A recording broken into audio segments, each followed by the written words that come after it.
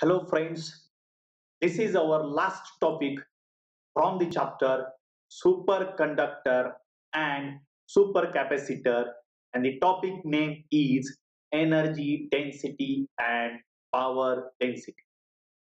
As in a previous lecture, we have explained about energy density and power density of the batteries and the supercapacitor.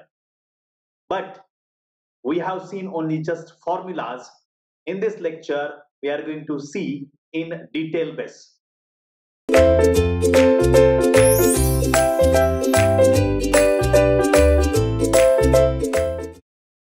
Friends, we are going to see the definition of energy density and the power density. Let us start with the energy density what is meant by energy density and power density? What are their units? Let's start with the energy density. The energy density of a capacitance is of a capacitor is defined as the amount of energy that can be stored by a capacitor per unit mass or per unit volume is called as a energy density I'm writing here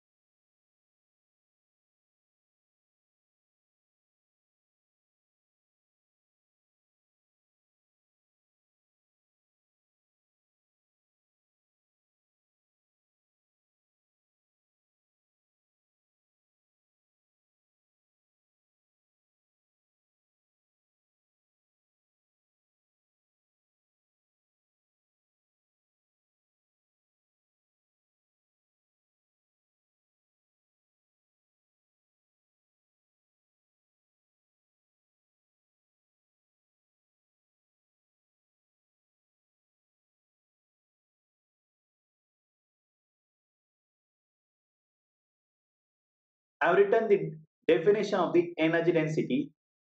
Energy density of a capacitor is defined as the amount of energy stored by a capacitor per unit volume or per unit mass. Correct? Suppose volume is 300 liter, then how much energy is stored? So this is the definition of energy density. Means we have formula we have seen in last lecture energy density. Energy density is equals to energy density is equals to energy into time divided by volume. Or you can say energy into time divided by mass. Yes geometrically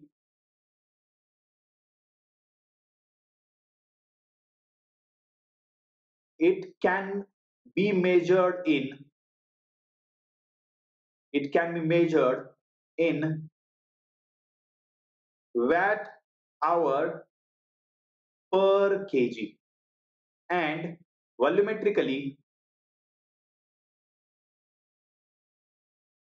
and volumetrically we can measure it. Unit is watt hour per liter.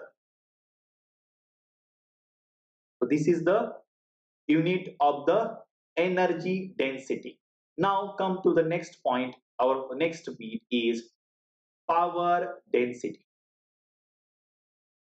Power density the density like a power like energy density power density has a definition. I'm writing here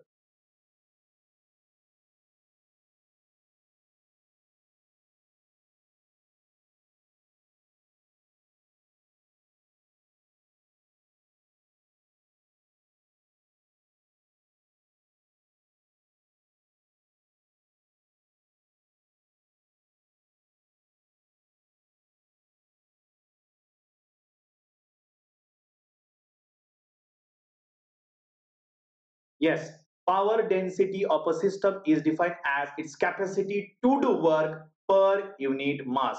Means power density is equals to, yes, work upon means kilowatt power upon kilogram.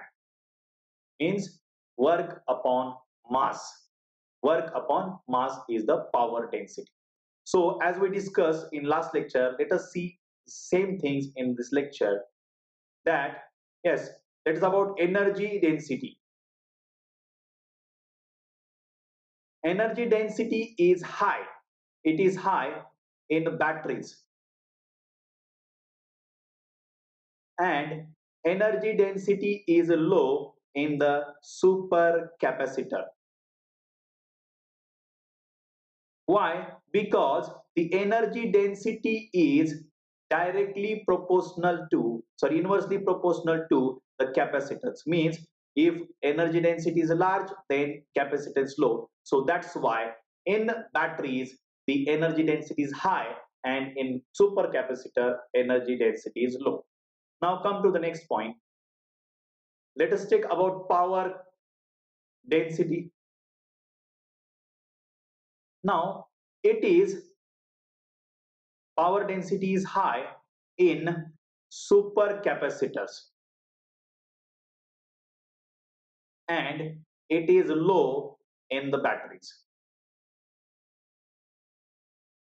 Because of the high power density, supercapacitor can generate sudden energy or emerge energy, but batteries have power density is very low. So that's why the power capability or power supply of battery is very low. But you can say super capacitor is more times better in power supply than batteries. So super capacitor has high power density and batteries have low power capacity. So this is about power density and energy density. So thank you friends.